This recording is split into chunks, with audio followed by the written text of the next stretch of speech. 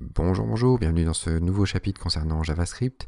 Alors dans cette vidéo, on va parler de la gestion du temps euh, en JavaScript, donc comment euh, créer des intervalles de temps ou comment attendre euh, un certain temps avant d'enclencher des actions. Alors avant de voir un cas concret avec la construction d'une petite horloge au sein d'une page HTML, on va voir déjà un petit peu de théorie et voir un petit peu les deux fonctions qui nous intéressent dans la gestion du temps en JavaScript. Donc pour gérer le temps, vous avez plusieurs possibilités. Déjà, on pourrait se dire qu'on veut euh, un enclenchement de fonction ou d'action toutes les x temps, tous les x millisecondes. Donc pour ça, on va pouvoir utiliser la fonction qui s'appelle window.setIntervalle. On va appeler une fonction en callback derrière. On va pouvoir du coup noter les différentes actions dans cette fonction de callback. Et ensuite, on aura un deuxième paramètre qui sera le temps d'attente entre l'exécution finalement de toutes ces actions. Donc ici j'ai mis 1000, ça veut dire qu'il y aura toutes les 1000 millisecondes ces actions-là qui vont se euh, s'effectuer. Deuxième possibilité, deuxième fonction qui pourrait être intéressante, ça serait un enclenchement d'une fonction, mais seulement après un temps donné, donc après x millisecondes. Dans ce cas-là, on va utiliser une autre méthode qui s'appelle window.setTimeout et elle fonctionne un petit peu pareil. On a un premier paramètre qui est une fonction de callback avec les différentes actions que l'on veut exécuter après euh, ce, temps d'attente, on va dire. Et le deuxième paramètre, le, temps justement qui est noté en millisecondes. Alors c'est parti, du coup on se retrouve euh, dans le code. Euh, je vous disais, on va essayer d'appliquer ces deux, deux méthodes, ces deux fonctions pour la création d'une petite horloge au sein d'une page HTML pour l'instant, j'ai créé euh, un petit fichier HTML, donc 08intervalle.html, euh, dans lequel euh, bon, j'ai toujours ajouté le bootstrap, j'ai juste mis un titre, et puis j'ai fait une liaison avec le fichier JavaScript, donc 08intervalle.js. Alors déjà, avant de construire notre petite horloge, on va essayer d'appliquer nos deux méthodes que je viens de vous montrer. Donc si je retourne dans le 08intervalle.js, dans ce cas-là, on va pouvoir utiliser la fonction donc window.setIntervalle si on veut un intervalle de temps euh, tous les x temps, donc avec une fonction de callback, donc function, j'ouvre les accolades derrière et je vais exécuter des petites actions. Donc par exemple, je voudrais faire un console.log de ici un petit texte, donc euh, cet intervalle. Voilà, quelque chose comme ça. Et, du coup, en deuxième paramètre, en, donc après les accolades, je veux que, ça, que toutes ces actions-là s'exécutent après, par, par exemple, une seconde, donc après 1000 millisecondes. quand j'enregistre ça et que je passe sur la page internet, du coup, voilà, il est en train d'écrire, alors j'avais déjà ouvert euh, la console, il est en train d'écrire le set intervalle en bas, donc j'ai bien le petit chiffre là qui augmente, ça veut dire qu'il m'écrit plusieurs fois le mot cet intervalle tous les, toutes les secondes, on voit que le petit chiffre augmente. Alors si jamais je changeais euh, le, le, terme, donc c'est plus un set intervalle mais c'est un set timeout. Donc je veux que ça, s'exécute au bout d'un certain temps. Donc ici, hop, je vais faire set timeout. Voilà, et puis je voudrais que ça s'exécute que ça s'exécute au bout de 3 secondes. Donc quand j'enregistre ça et que je passe sur la page internet, on va attendre un tout petit peu et hop, on a le set timeout qui euh, s'affiche maintenant. Alors maintenant, si on veut utiliser un petit peu euh, tout ça et euh, construire une petite horloge, donc on va déjà devoir voir un nouveau chapitre qui va être la gestion des, heures et la gestion des dates euh, finalement en JavaScript. Donc si je veux la date du jour en JavaScript, eh bien je vais créer une petite variable, donc les dates par exemple, qui va être égale à un nouvel objet, donc un new date. Donc ça c'est un objet JavaScript qui est accessible directement, et donc ça, ça va me donner la date en ce moment, la date du jour. Donc si je fais ça et que je fais un console.log derrière pour voir ce qu'il y a dans la date. Alors du coup, quand j'enregistre ça et que je passe sur la page internet, eh bien j'ai bien le, la date qui s'affiche avec l'heure, avec euh, le fuseau horaire. Euh, et donc ce qui va m'intéresser en fait finalement c'est la récupération de cette heure là. Et je voudrais le récupérer finalement toutes les secondes pour que euh, notre, horloge s'affiche quelque part dans la page. Donc, je vais devoir récupérer juste l'heure, ou juste la minute, ou juste les secondes. Donc pour ça, je repars dans le code, je vais enlever le console.log et on va pouvoir récupérer par exemple juste les heures. Donc let heure qui va être égal à eh bien, notre date qu'on a créée juste avant et on a des petites méthodes. Donc quand je fais un point, il va me proposer ici toutes les méthodes euh, accessibles finalement sur cet objet date et donc il me propose ici de faire un get hours donc pour récupérer les heures. Donc c'est une méthode, donc c'est suivi de deux parenthèses, et je fais un petit point virgule à la fin. Si jamais du coup je faisais un console.log de maintenant ma variable heure, voilà, et que je passe sur la page internet, j'ai bien le chiffre 12 qui s'affiche. Donc maintenant il va falloir faire la même chose pour les minutes, donc je ne vais pas m'embêter, je vais dupliquer cette ligne-là. Je veux récupérer maintenant les minutes. Voilà, d'ailleurs j'aurais pu mettre un petit S, voilà, et puis euh, les secondes.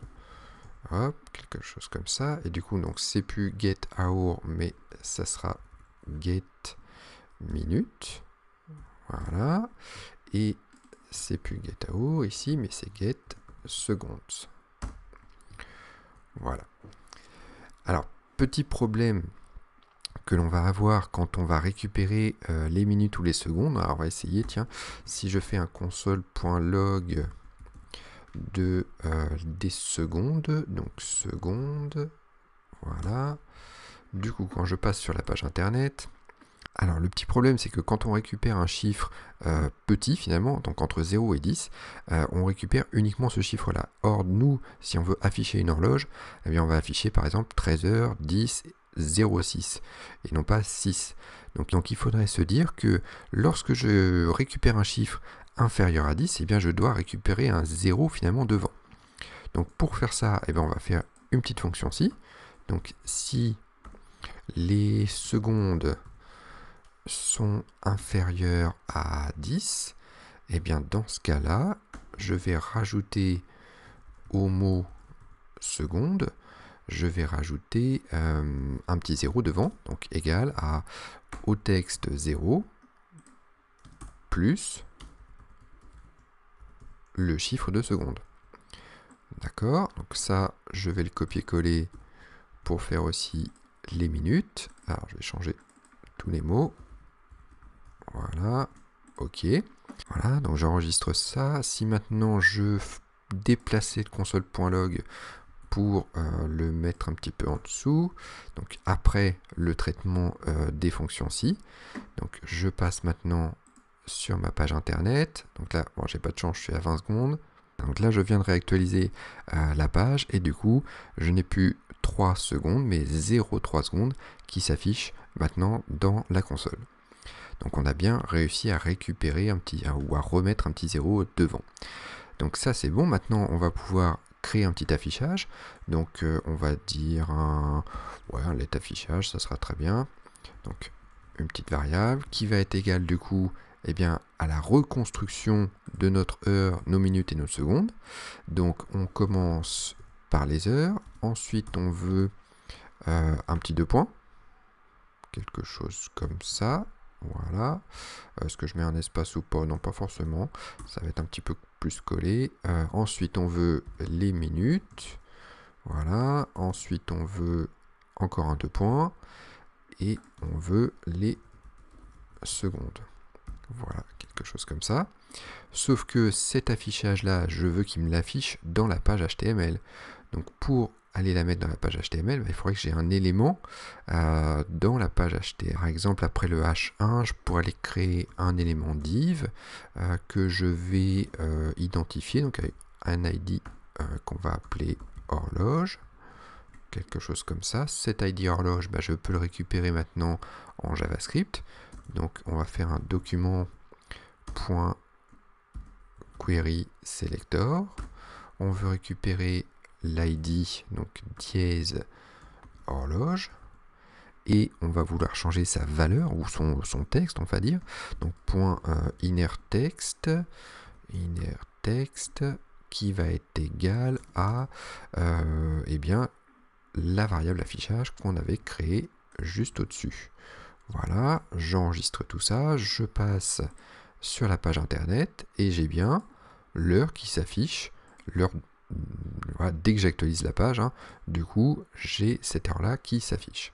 Donc maintenant ce qu'il faudrait faire en fait, eh bien c'est que euh, cette, création de l'horloge en fait, eh bien, se renouvelle toutes les secondes. Si je repars dans le code, du coup, euh, ce qu'il faut se dire en fait, c'est qu'il faut refaire ces actions-là, finalement toutes ces actions-là, toutes les secondes.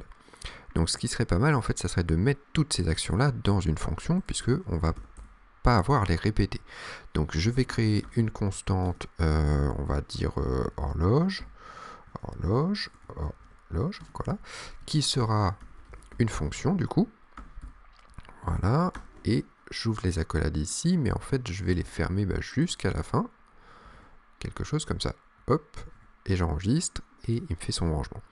Donc la fonction horloge finalement m'exécutera toute cette partie-là, toutes ces actions-là. Donc maintenant, je vais pouvoir, dans un window intervalle, voilà, et eh bien appeler la fonction horloge, horloge, voilà, et je veux que ça l'appelle toutes les secondes, donc toutes les 1000 millisecondes. Quand j'enregistre ça, du coup, je repars sur la page internet, et j'ai bien mon horloge qui commence à bouger toutes les secondes. Donc maintenant, ce qu'on pourrait faire, bah, c'est faire un petit peu de, décoration sur, euh, sur, ces, sur ces chiffres en fait. Donc ça, on va aller dans la partie HTML. On va, bon, je vais pas m'embêter, je vais créer un petit style euh, pour faire un petit peu de CSS. Donc style, voilà. On va appeler donc le dièse horloge. Horloge, ok. Ensuite, au niveau des propriétés, bah, je vais euh, lui dire que le texte va être centré, euh, que euh, on veut une taille de texte un petit peu plus grande, donc font size, on va dire 3 REM par exemple. et puis, on veut une couleur de texte, on va faire un petit gris, donc 777, quelque chose comme ça. Et puis, alors j'avais noté une police qui pouvait être intéressante sur un autre fichier. Euh, du coup, je vais aller charger depuis le, Google Font, je vais charger la, la font famille qui s'appelle Inconsolata. Et du coup, bah, je vais pouvoir utiliser cette font family. Donc, je vais faire un copier-coller. Voilà. Euh, quelque chose comme ça. Et je veux la euh, police inconsolata. Voilà, donc j'enregistre ça, et puis si je repasse sur la page internet maintenant, et eh bien voilà, j'ai mon système d'horloge donc avec la bonne police, avec euh, une petite présentation un peu plus sympa, et du coup donc toujours l'appel à la fonction horloge toutes les secondes. Alors dernière petite chose euh, au niveau du set intervalle et du set timeout, on avait dit euh, dans une vidéo précédente que l'objet Windows c'était l'objet global en fait. C'est-à-dire que si vous ne le mettez pas, eh bien ça peut aussi fonctionner. Donc on pourrait faire juste un set intervalle. Hein. Euh, quand Windows est omis, eh bien tout simplement il va appeler cette méthode-là sur l'objet le plus global. Donc ça sera l'objet Windows. Voilà, donc j'espère que vous avez bien aimé ce petit chapitre concernant euh, la gestion euh, du temps en JavaScript. N'hésitez pas à mettre un petit pouce euh, si vous avez bien aimé, à laisser des commentaires si vous avez des questions ou, si cette vidéo vous a plu. N'oubliez pas de vous abonner à la chaîne et, puis bah, moi je vous retrouve pour la prochaine vidéo où on mettra en application encore ces nouvelles connaissances.